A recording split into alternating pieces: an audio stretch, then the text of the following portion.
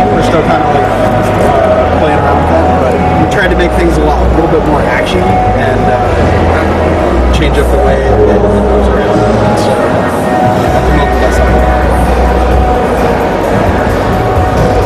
very likely that that could return.